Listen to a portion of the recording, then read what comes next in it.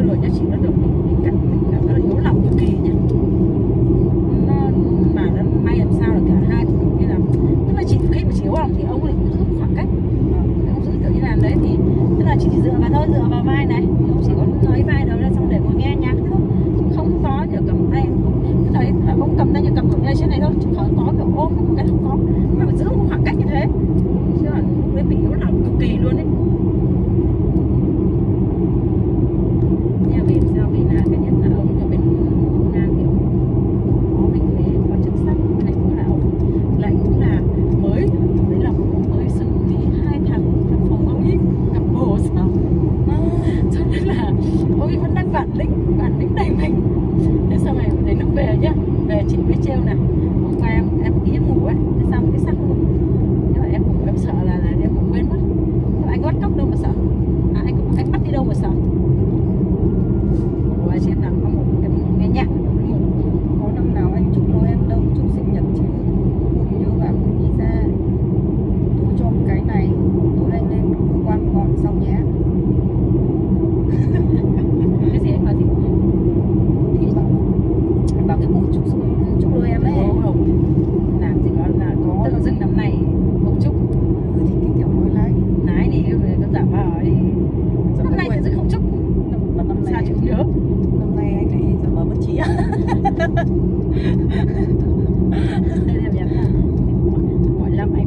Ja.